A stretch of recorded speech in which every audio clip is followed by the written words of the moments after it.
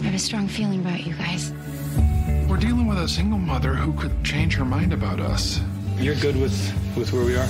You do not post a profane video for the world to see. This is Us, new in two weeks on NBC.